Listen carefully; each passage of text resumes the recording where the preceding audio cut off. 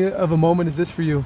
It's a very exciting moment. Um, just becoming a homegrown, playing for the club. Uh, this, this is my city I grew up in, so it's very exciting to be here. When did the conversation start that this might be um, a possibility with when the when the Gavin and Caleb start talking about it? Um, about a month ago, you know, they just really told me to keep pushing. They they were going to give me this opportunity, so I had some time to think about it with my family, and it was a big decision, and I'm glad I made this decision to become a pro. Were you weighing college between um, deciding to go pro at this age? Yes, I was. That was one of the hard decisions with my family um, between college or soccer. Um, they understood what I wanted to do. They supported me through it, so we chose soccer. How long you you been a Timbers fan for a long time? Yeah, I grew up watching my older brother play. He used to play for the U23 Timbers, so just growing up watching him play, just wanted to become a Timbers player just like him. How did you end up in the academy system, and what was that process like? Um, I was gonna join the academy my freshman year of high school, but I had surgery on my uh, hand because I got hurt at pre-tryouts. So the next year, I had my brother call Gregor, and he gave me the opportunity to come try out, and that's how I joined my sophomore year. What's it like for you, 17? You go to Centennial High School, and then you show up and go to Timbers practice, and you're going up against Darlington Nagbe. What's that like? Uh, it's fun playing against those type, type of players. They're really good, uh, really hard to guard.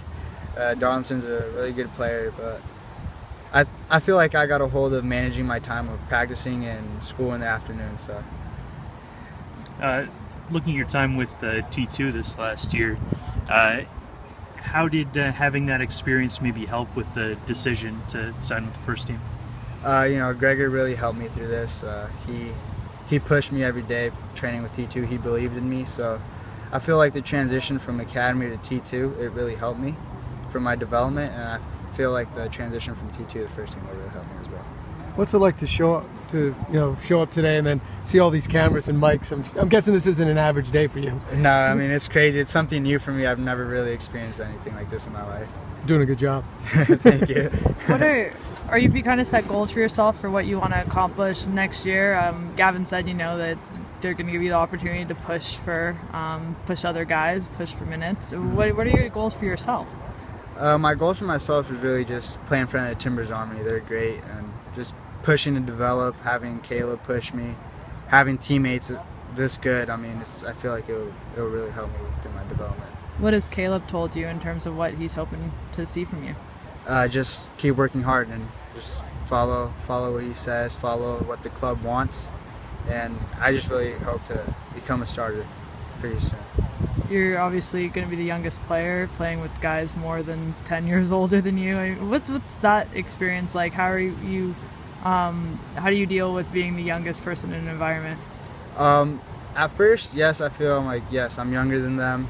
They're great players, but you know, if you think about it, just stepping onto the field as same field as them, you're, you're just like one of them, just younger. What have you heard uh, from some of your uh, former academy teammates? uh, they're happy for me. Um, they really helped me through this as well. Uh, having great teammates, developing me, becoming the player I am today.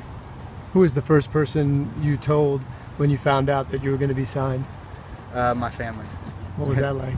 Uh, it was exciting. Um, like I said, it was a decision, but it's really a dream come true uh, being able to play for the team that's in my hometown, having my family close to here, and having be playing for a great club. What was it like telling your friends at Centennial High School that you're now like an official Timber? Uh, it was fun, but you know, gotta stay humble. Have to. I'm still the same person, just playing soccer for as a career. All right, thank you. Thank you.